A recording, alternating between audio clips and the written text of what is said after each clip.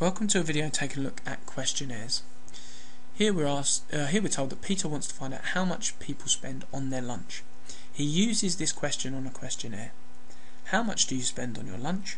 £1 to £5, £5 to 10 10 to 15 We are then asked to write down two things that are wrong with the question. Now,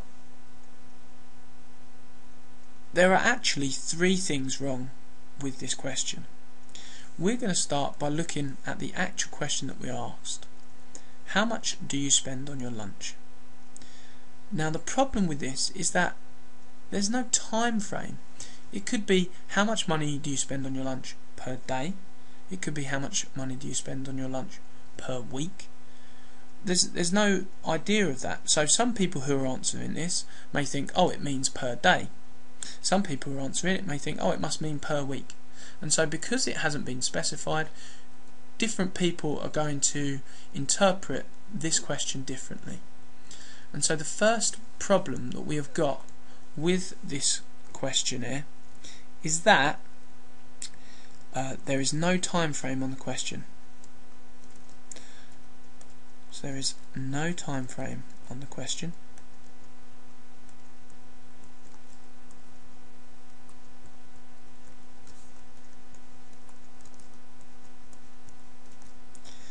and for example we could say e.g. per day.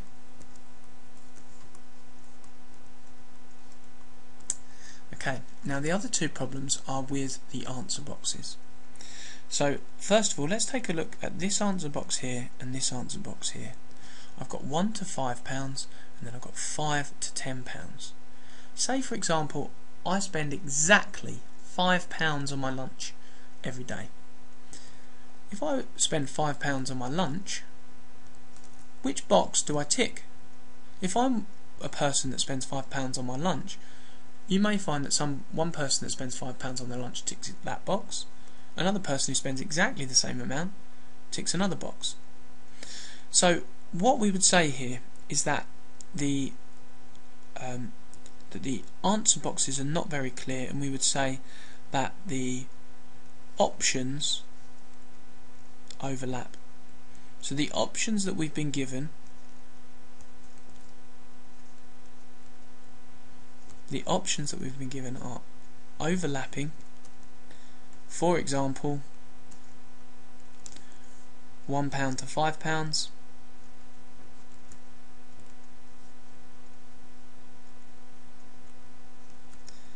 and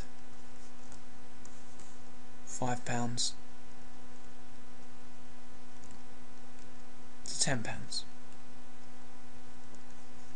Okay, let's take a look at the third thing, and again, it's a, a problem with the options that we've been given.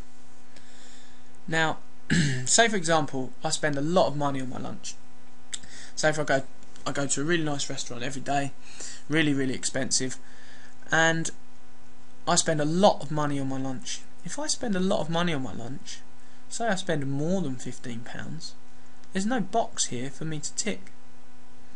And so what we would say is that our third criticism of this questionnaire is that we've not been given all options. All options are not available to us. Okay, so we, what we would say is that um, not all options are available. So not all options available.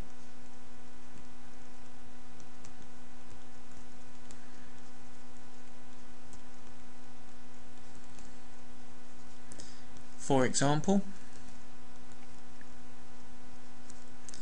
and then you could say so you could say that if you spend a lot of money over 15 pounds or if you don't spend much money at all, there's nothing below a pound.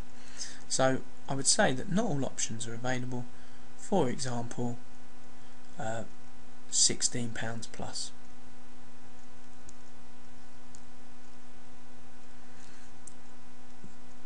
Okay. So part B asks us to design a question for the questionnaire to find out how much people spend on their lunch you must include some response boxes. So all that we have to do at this point is simply address all of the problems that we identified originally. So the first one is that there is no time frame on the question, for example per day. So let's address that. We can ask exactly the same question, but instead just put per day at the end. So how much do you spend on your lunch per day? So we'll start off. How much? Um, how much do you spend on your lunch?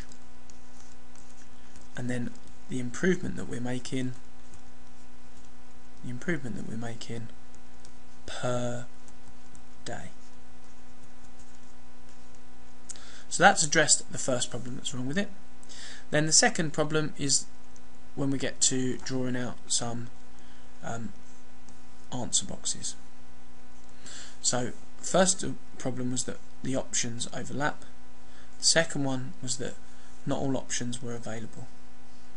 So we'll have some answer boxes and we must make sure that all options are available. So if you don't spend anything on your food for lunch, you're going to need a zero option. And so what we'll do is we'll say £0 to £5.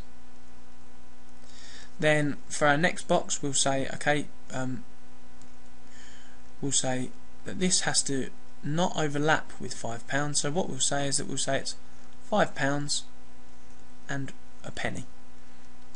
And we'll have that go up to £10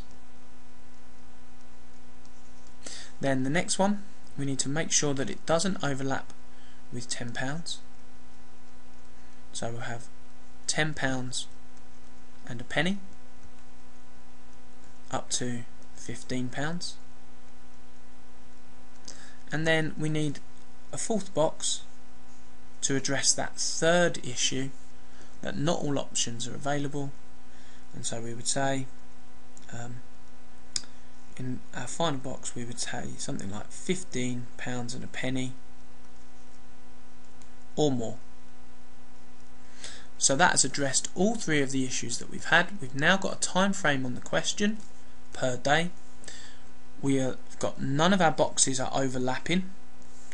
And then lastly all options are available to us. So if we spend hardly anything we've got zero pounds. If we if we um, spend more than 15 pounds we've got we've got a box for that